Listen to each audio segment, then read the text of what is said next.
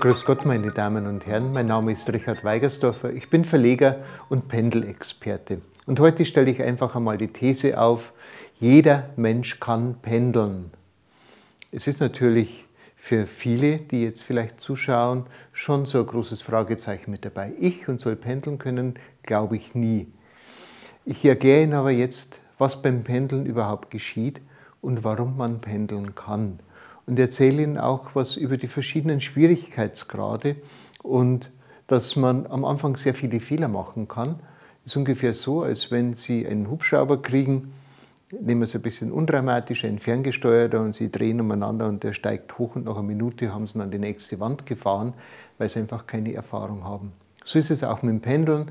Wenn irgendeine Freundin ein Pendel rauszieht und sagt, ja, probier doch einmal, und sagt, ja, bei dir geht es auch, und dann probiert man alles Mögliche und hängt dann spätestens zehn Minuten später mit seinen Ergebnissen an der Wand, weil nichts mehr stimmt, weil man alles hinterfragt und dann am Schluss sagt, ich kann nicht pendeln.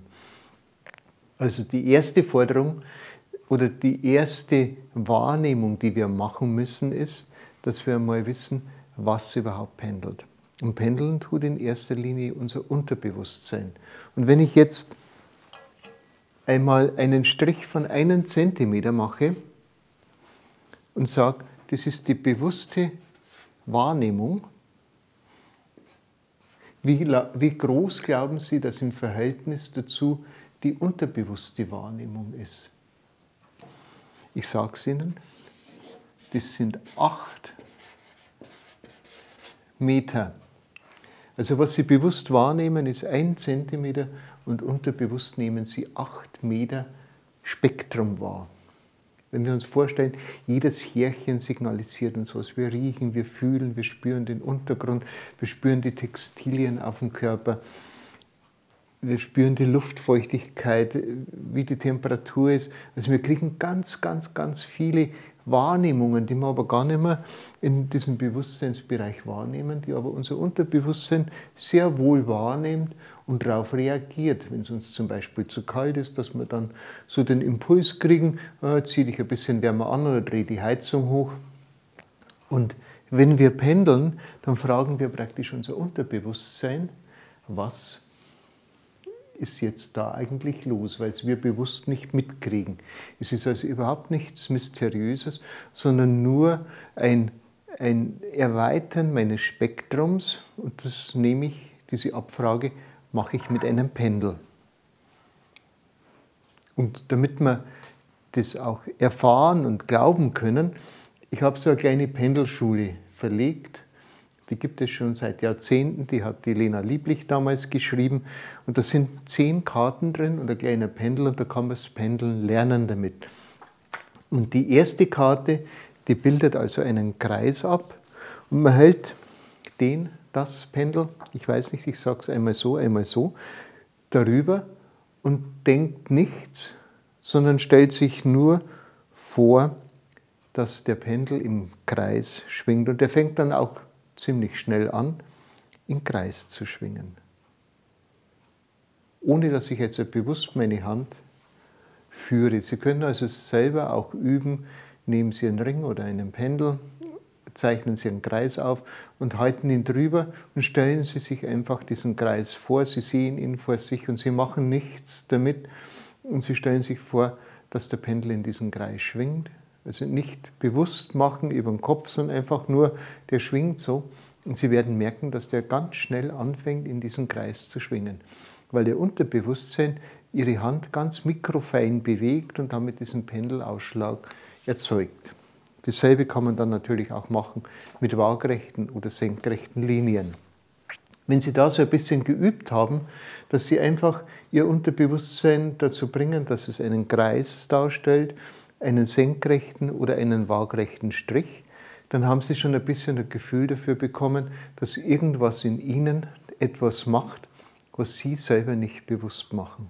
Und das ist schon einmal ein toller, schöner Lerneffekt, weil ich weiß, aha, ich bin gar nicht verantwortlich für den Ausschlag, sondern es ist mein Unterbewusstsein, meine Vorstellungskraft, das, was ich hier in diesen acht Metern abtaste, das bringt mich dazu, mich so fein zu bewegen, dass ich es selber gar nicht merke. Dass also noch in ihnen eine Instanz ist, die irgendwas machen kann. Die lässt sie zum Beispiel, auch wenn sie da hinten was spüren, dass es juckt, die lässt sie auch hingreifen und da ein bisschen kratzen, weil es da gerade juckt. Geht nicht über den Kopf, das geht unterbewusst. Auch die ganzen Bewegungen, Balance halten und so. Und hier nehmen wir diese unterbewusste Seite von uns, um einfach einmal hier diese Bewegung ausführen zu lassen. Das ist jetzt schon einmal toll.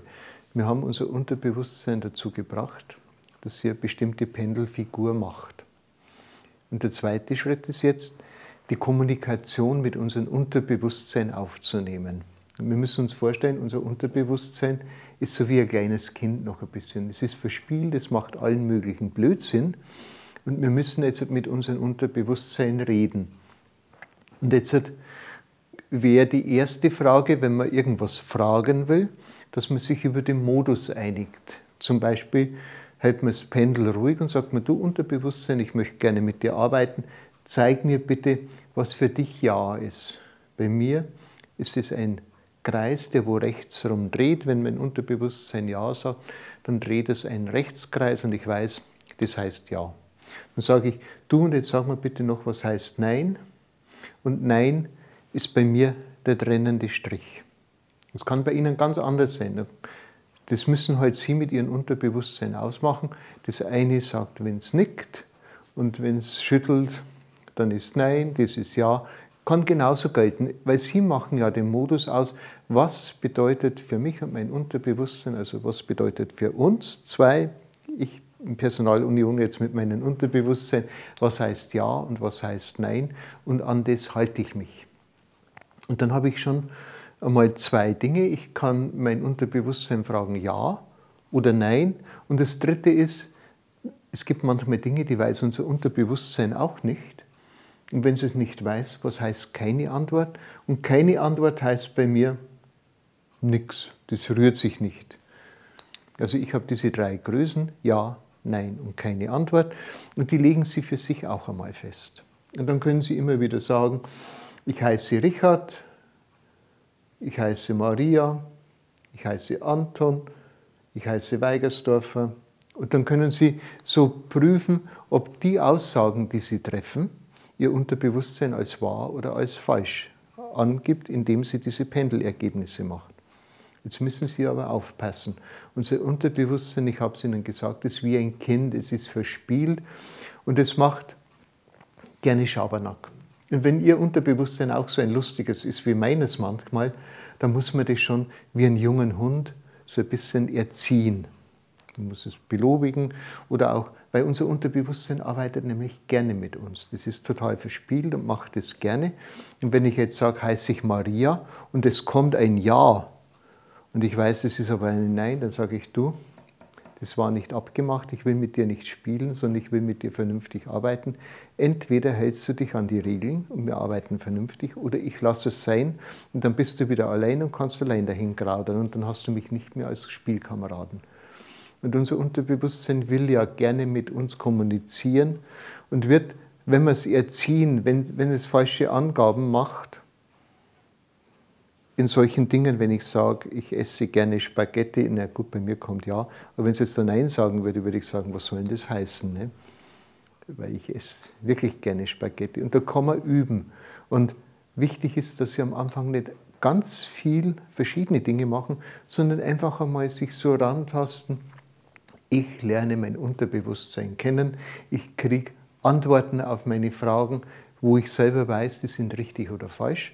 Und wenn Sie da ein gewisses Gefühl haben und dass auch eine konstante, richtige Antwort kommt, dass also dieses Verspielte so ein bisschen wegerzogen ist schon, weil wenn das irgendwann Spielen anfängt und ich frage wirklich wichtige Dinge ab, für mich wichtige Dinge und mein Unterbewusstsein will ein bisschen spielen, dann ist das fehl am Platz. Also man muss sich da wirklich verlassen können und wenn es einen Blödsinn macht, dann sage ich, gut, ich pendel heute nicht mehr mit dir. Oder ich mache ein Reinigungsritual, dass ich einfach einmal hergehe und sage, ich streife mich ab. Alles, was dranhängt und mich vielleicht stört, ich mache das weg, diese fremden Energien. Man kann ein paar Mal tief atmen oder hier mit der Faust aufs Mikrofon klopfen, dass in der Lautsprecher rausfällt. Also, dass man hier das so macht, wenn, diese Thymusdrüse dahinter, wenn die aktiviert wird durchs Klopfen, schüttet ganz viel äh, Stabilitätsstoffe aus, die uns gut tun, die uns erden, die uns aufrecht machen. Also man kann auch ein Glas Wasser trinken oder schauen, ja, was wichtig ist, wenn Sie jetzt so üben, üben Sie immer alleine. Wenn irgendjemand mit dabei steht und dann vielleicht noch Kommentare abgibt zu Ihrem Pendeln, ist es ganz, ganz schlecht. Weil Sie müssen ja Sie und Ihr Unterbewusstsein erst einmal zusammenfinden. Und eine dritte Person hat da überhaupt nichts zu tun. Und Bemerkungen schon fünfmal nicht, die gehören also ganz hinten angestellt. Also wenn Sie pendeln, machen Sie es ganz allein für sich und machen Sie nur das, dass Sie einfach ins Vertrauen kommen mit Ihrem Unterbewusstsein. Und Sie werden merken, Sie können mit der Zeit pendeln. Das Pendel wird einen Ausschlag bringen und es wird Ihnen Antworten geben auf Ihre gestellten Fragen, wo Sie vorher schon wissen, was richtig oder falsch ist. Und wenn Sie dann das Gefühl haben, es funktioniert jetzt, dann können Sie einen nächsten Schritt machen. Wenn Sie jetzt angenommen wie versteinert da sind, es gibt solche Menschen, habe ich schon erlebt, die halten den Pendel und, und es passiert nichts. Die verkrampfen sich dann so, dass sie ja nichts manipulieren und, und die unterbinden dann ganz bewusst jeden Pendelausschlag. Und man soll ja ein bisschen locker sein und es ist gut, wenn man das Pendel am Anfang einfach einmal anstößt, irgendwas machen lässt. Das dreht sich dann einmal, ich denke jetzt an gar nichts und dann sage ich, heiße ich Maria und schon geht es auf die Nein, heiße ich Richard, dann geht es auf die Ja. Also wenn das Pendel in Bewegung ist, dass es dann die Richtung ändert, das ist viel leichter, als wenn es außen stand, diese gleich exakte Pendelbewegung einnehmen muss. Also stoßen Sie es ruhig einfach einmal an, lassen Sie es kreisen oder so und dann fangen Sie an, Fragen zu stellen. Und aus dieser Veränderung heraus, aus der Frage, geht die Veränderung des Pendels viel leichter, als wenn es von Null aus anfangen muss. Das ist noch so ein Anfängertrick, den man machen muss. Und wenn Sie einen erfahrenen Pendler zuschauen, da werden Sie auch merken, der fängt gleich an und dann fängt er erst zum Fragen an. Und das Pendel rührt sich schon lange. Und da hat er noch gar nicht gefragt. Das macht er einfach einmal damit, wie wie beim Radlfahren. Früher ist man da so ein paar Schritte angeschoben und dann ist man aufgestiegen, dass schon einmal im Rollen war, wenn man nicht so sicher war, weil man aus dem Stand nicht so wegfahren konnte. Ähnlich ist es hier mit dem Pendel. Einfach anschieben und dann pendeln. Dann haben Sie also hier schon einmal Verbindung zu Ihrem Unterbewusstsein aufgebaut. Sie kriegen schon Ergebnisse. Und dann werden Sie sagen, was sollen das? Ich weiß ja, dass ich Richard heiße oder ich weiß ja, dass ich Maria heiße. Da brauche ich nicht lange pendeln. Aber das soll einfach nur ihre Vertrautheit mit ihren acht Meter Unterbewusstsein herstellen. Und nun können Sie hergehen und Beziehungen testen. Zum Beispiel, wenn Sie sagen, dieser Apfel, ist der gut für mich? Wenn ich den jetzt essen würde, also beim Pendeln stellt mir immer eindeutige Fragen. Also nicht, soll ich den essen oder soll ich ihn nicht essen? Was soll jetzt Pendel sagen? Es geht nicht. Also wenn, dann sagt man immer, oder am besten man stellt sich das sogar vor, weil ja unser Unterbewusstsein diese Vorstellung hat. Ich stelle mir jetzt vor, ich beiße in diesen Apfel rein, ist das gut für mich? Signalisiert man sogar mit, gleich mit Speichelfluss, weil der vielleicht ein bisschen säuerlich ist. Und es kommt ein Ja raus. Wenn jetzt ein Nein rauskommt, weil ich vielleicht eine Allergie gegen Apfel habe, dann, dann würde da ein Nein kommen. Wenn ich das weiß, dann ist es eh schon beantwortet, aber ich kann auch andere Lebensmittel durchtesten und ich frage dann immer, ist es, wenn ich das jetzt im Augenblick zu mir nehmen würde, gut? Und da kann zum Beispiel beim Apfel auch rauskommen, dass das im Augenblick nicht gut ist. Deshalb muss ich keine Allergie haben, aber es ist vielleicht, mein Unterbewusstsein sagt, naja, ich habe jetzt da ungefähr 17 Meter Spaghetti und vier Schöpflöffel Tomatensauce im Bauch drin und wenn ich da jetzt einen Apfel dazu esse, dann kommt es vielleicht zu einem Gärungsprozess und das stört meine Verdauung. Also sage ich, soll ich den Apfel jetzt essen, kommt ein Nein. Wenn Sie eine Stunde warten und fragen Sie, dann soll ich den Apfel jetzt essen, kann ein Ja kommen. Also es wird Ihnen immer unmittelbar Antwort geben auf Ihr System. Und das ist genau der Punkt, wo ich sage, jeder Mensch kann pendeln,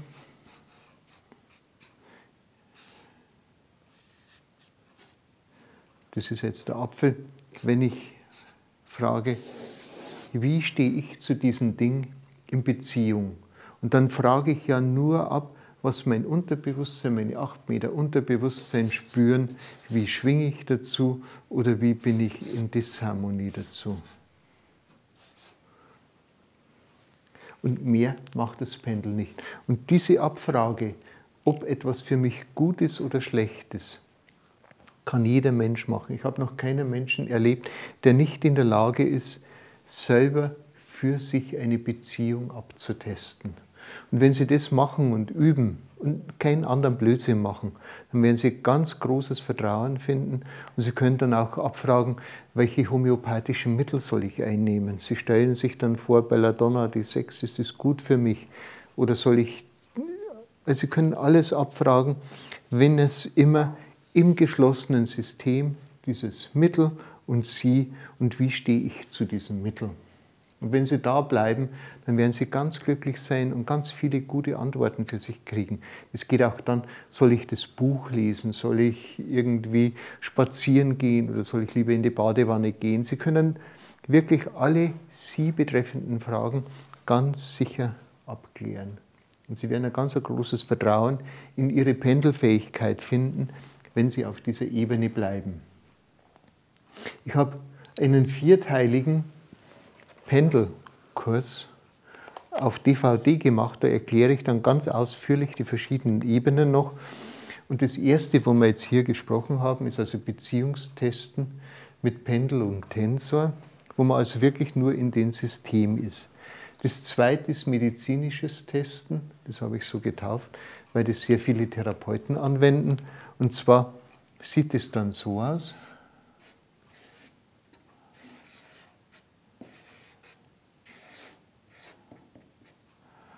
Dass ein Patient in die Praxis kommt und der hat am Herzen vielleicht ein bisschen Aua. Das tut ihm weh. Und Sie sind der Therapeut und sollen jetzt für den ein Medikament austesten. Jetzt sehen Sie schon, Sie müssen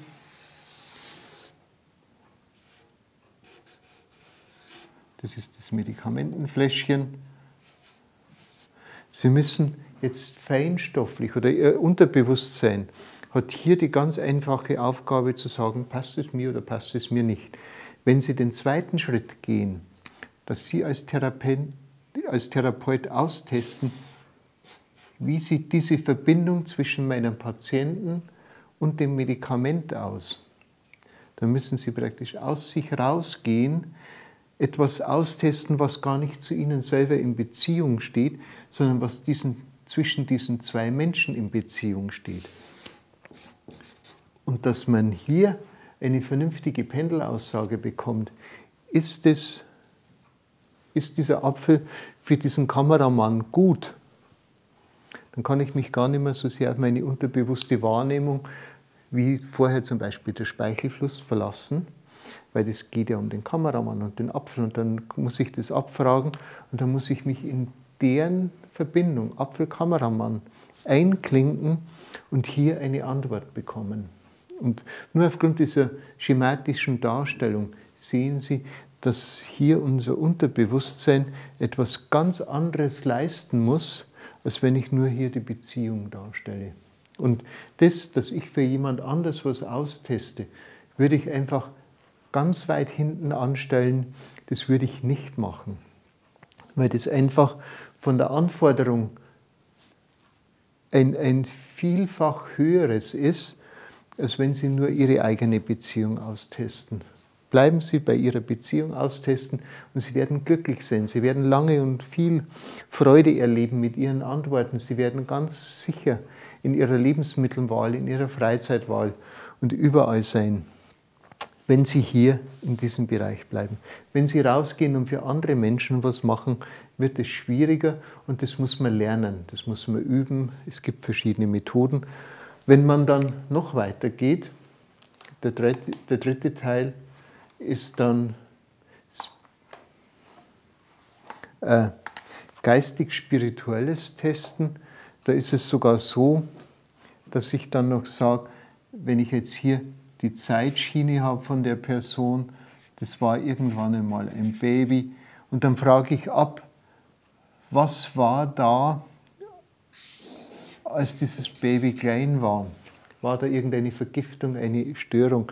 Also ich muss nicht nur erfühlen, was hier momentan zwischen den Medikamenten der Person abläuft, sondern ich muss die Zeitachse noch zurückgehen und schauen, was war in der Kindheit von dieser Person. Das ist also noch viel komplexer für uns zu erfühlen, was wirklich in der Kindheit dieser Person war und ob da irgendwie eine Ursache für eine Krankheit liegt, als wenn ich nur schaue, passt momentan das Medikament. Merken Sie die, die graduellen Unterschiede, wie groß die sind und was unser System, unsere acht Meter Unterbewusstsein, in diesem Fall, wenn ich in die Kindheit von einem Patienten gehe, was ich da erpendeln muss. Und dasselbe geht natürlich auch in die Zukunft. Was wird dazukommen? Was wird da passieren? Also solche Dinge in die Zukunft oder in die Vergangenheit pendeln, würde ich einfach die Finger weglassen. Es gibt natürlich ganz mediale Menschen, die können mit einem Pendel oder die brauchen oft auch gar keinen Pendel, die können diese Zeitachse zurückgehen, die können das Ganze machen. Aber es gehört nicht in die Hände und in den Aufgabenbereich eines Anfängers, der das Pendeln lernen soll. Und vor allen Dingen, wenn Sie solche Sachen machen, dann werden Sie wie mit einem Hubschrauber fliegen, den mit hundertprozentiger Sicherheit an die Wand fahren, dass Sie einfach Pendelergebnisse bekommen, die Sie sich nicht wünschen, die falsch sind oder irgendwie anders. Und dann wird nämlich auch hier dieses Ergebnis erschüttert.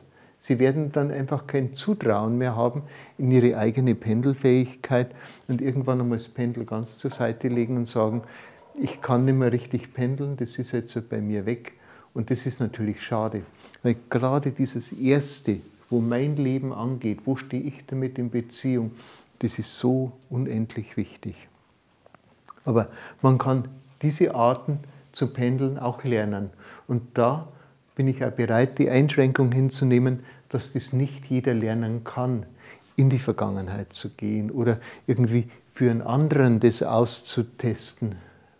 Wenn er sich die Mühe gäbe und lang genug übt, könnte er das bestimmt auch lernen. Aber er will es halt nicht, das ist ihm nicht so wichtig. Aber hier, das müsste in relativ schneller Zeit erlernbar sein. Und wenn man dann die Finger von den ganzen anderen Zeug lässt, dann ist man auf der sicheren Seite und glücklich. Was halt dann noch schlimmer wird, das ist dann, wenn Leute irgendwelche Beziehungen, ist das der Mann für die oder hat er mich betrogen mit der oder wie werden die nächsten Lottozahlen, dass man in solche Bereiche reingeht, das ist natürlich dann schon haarsträubend und da sollte man auch aufpassen, weil in den Augenblick, wo ich anfange zu pendeln über andere, mache ich mein Energiefeld auf, um ja diese Dinge zu erfühlen. Und in dieses geöffnete Energiefeld können natürlich dann Wesenheiten und Energien in mich eindringen, die gar nicht so angenehm sind. Das kann zu Besetzungen führen oder zu Irritationen. Und vor allen Dingen, man weiß auch nicht, wer da eindringt, mit welcher Intention der eindringt. Und es gibt halt im astralen Bereich auch sehr viele Wesen, die es uns nicht unbedingt gut meinen. Wenn Sie aber hier in, diesen ersten, in dieser ersten Stufe bleiben, ich teste die Beziehung von irgendwas zu mir selber ab, dann sind Sie immer auf der richtigen Seite und dann haut es auch hin, da bin ich überzeugt dafür.